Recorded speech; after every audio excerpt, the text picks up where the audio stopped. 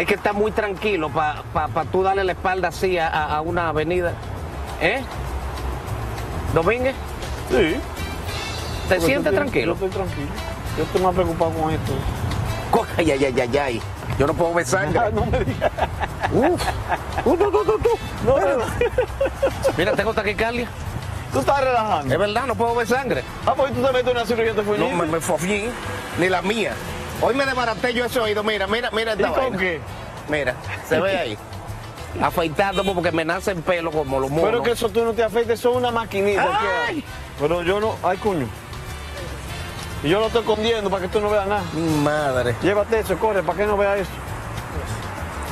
Ya, ya, ya, Iván, ya. No, no hay problema, no soy yo, el problema es Iván. No, pero hay que llamar emergencia. El 911. No hay un médico aquí. Pero eso fue ayer y, y me lastimé. Mierda, qué fue tú. Uf, Ya. ah, como todo un hombrecito. Hay un cosito que es. Sí, yo lo tengo. Entonces tú no tienes que Eh, usar la Esta vaina navaja. se va, se puede caer. Y tú no tienes que usar la navaja. Eh, esta vez fue la navaja y fue rápido. Porque Yo nunca estaba la tarde para navaja. ir al programa. Nunca lo hago con navaja. Pero yo tengo el cosito ese. Eh, eh.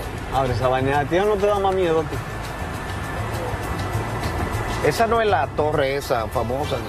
¿Cómo que se llama? ¿Caney? No, la canela. ¿Qué tal? No, es- Es una nueva. no eras procurador cuando el lío ese de la cadena. No, no. No. Era ya Jan Alain. Ay.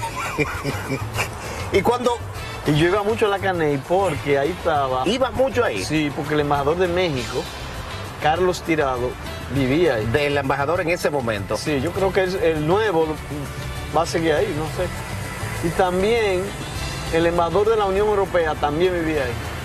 Que a veces hacían cenas y unos protocolos. El embaja- que- Los embajadores de México no viven en la embajada. No, ahí en la Ah, porque la embajada está al, Sí. al lado donde yo vivo, la Exacto. Pedro Enrique El Jureña, embajador vivía en la Torre Caney. detrás del INVI por ahí. Y yo siempre iba con Carlos. Y a veces iba. ¿Cuál con- Carlos? Carlos Tirado, el que era embajador. Ok. Que era muy amigo mío, pero ya se fue. Pero siendo procurador. Y siendo ministro de Medio Ambiente, los Sí. tres años que él duró, hicimos una amistad bonita. Pero estar en la Procuraduría, yo siento que de pronto, implícitamente, aunque uno no quiera, se genera enemigos hasta gratuitos Ay, sí. y gente que cree tú cumpliendo con tu Si deber yo te con la leo ley, algo ahora mismo que que es algo personal. mandar. ¿Ah? ¿Cómo es? Pero nomás para nosotros. Cuidado con el dedo, cuidado se- con el dedo. Sería una deslealtad yo, Eh, yo decirte en público, pero léete. pero puedo leerlo en público porque estamos No, en público no. Ah, no, esto se puede. No, estamos grabando desde el principio. ¿Tú no sabías? Esto no se puede leer en público. Ah, ok. Yo no sabía.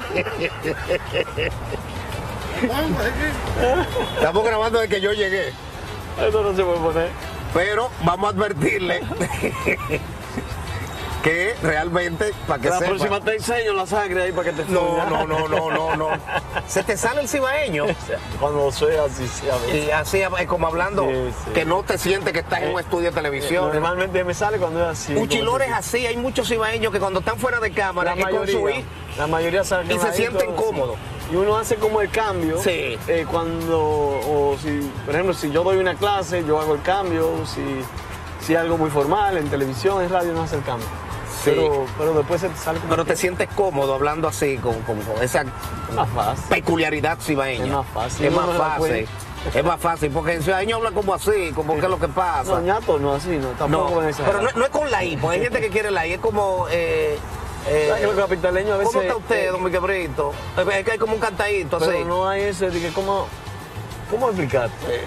Es más, más Bueno, depende del suave, regionalismo. Más suave, más, más, más que sale así, no. Pero repito, me, me llama mucho la atención, habiendo pasado por lugares tan candentes como la Fiscalía, la Procuraduría, el Medio Ambiente, sitios muy, muy calientes, eh, que te arriesgue a dar la espalda a una avenida como la Nacaona, donde pasa de todo. No, pero yo nunca he tenido ese tipo de, de temor. Hay situaciones que tú vives. Yo siempre digo que una vez yo estuve en un entierro y a una persona lo saludé, le di la mano y me dejó la mano puesta delante de todo el mundo. Y yo me quedé, wow, ¿qué, qué habrá sido? eh, llamé a, a alguien, bueno, en ese momento... Alguien en común. Alguien en común, Fran Soto, hoy juez de la Suprema Sí. Corte. Le digo, Fran, mira, ¿qué pasó aquí? Me pasó esto. Y él mismo me dijo, mira, ese fue el caso tal. Eh, Hay gente que los personaliza. sí, su hijo parece que acuchilló a otro joven, pero él era un general retirado, un general activo, y dijo que su hijo nunca podía caer preso. Y me la hicieron imposible y yo dije, ¿cómo que no voy a caer preso? Insistí, insistí, insistí hasta que cayó preso. Eh, ¿Qué pasó? Años después me pasó eso ahí en la funeraria y me quedé con la mano extendida. No, no, yo, pero el- eh, eh, yo hice algo malo, no, yo cumplí con mi trabajo simplemente.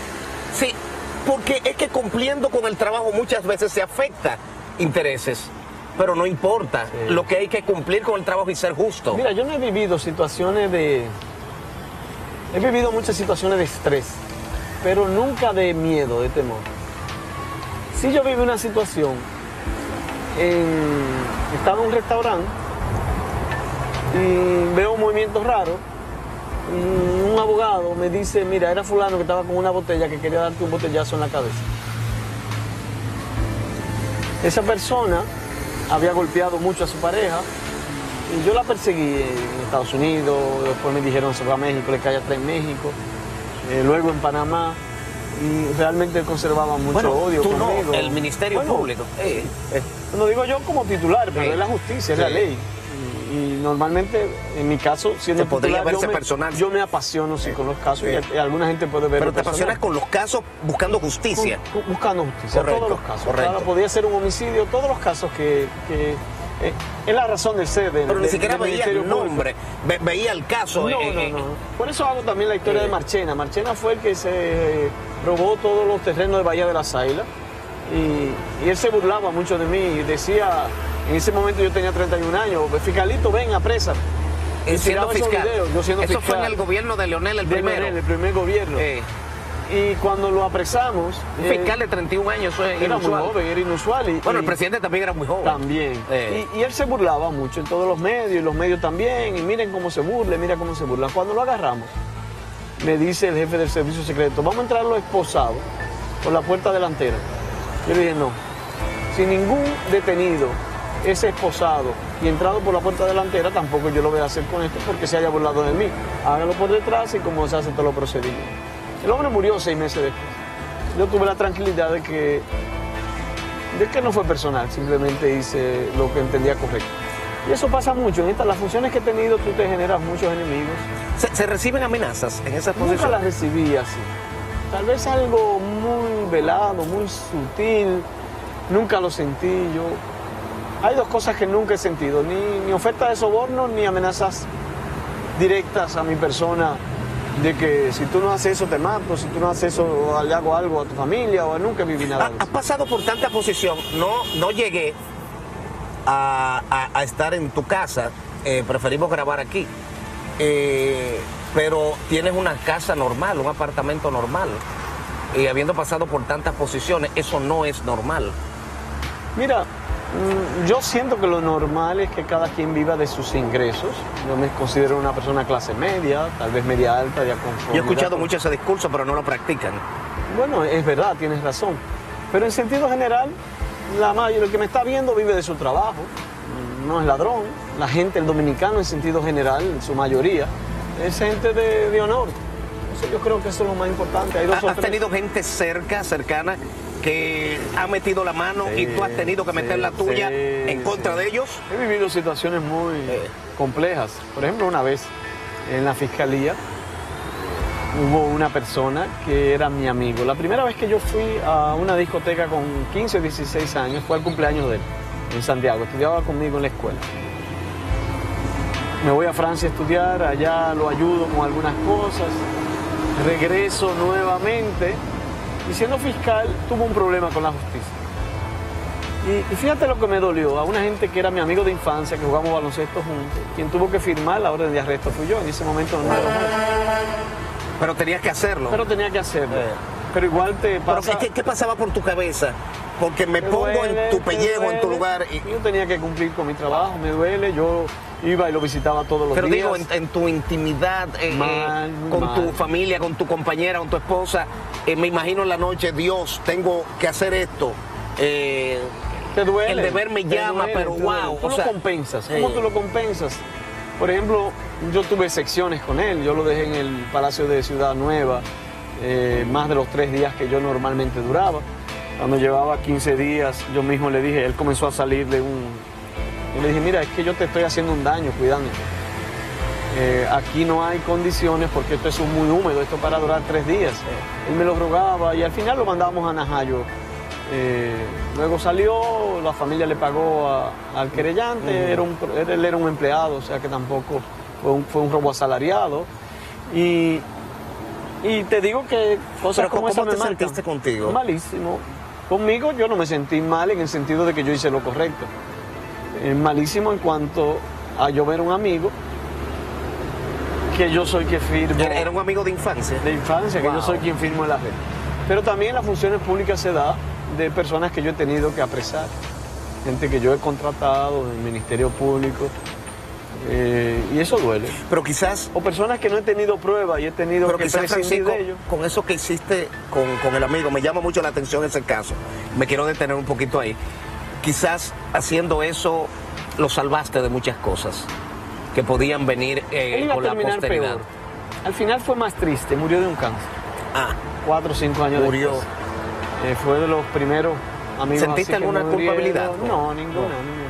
Él fumaba mucho, él- ok. pero yo lo quería mucho. Eh, Era el que. Yo era playmaker. Y jugaba baloncesto. siempre en, en la zona arriba. Ya eso no se usa, de que eh, zona arriba y nada de eso, pero bueno, Sí. antes sí. Y él siempre era el que, o centro lateral en, en rebote y era mi amigo. Bueno, te digo que mi primera fiesta. Era, era más, más era- alto.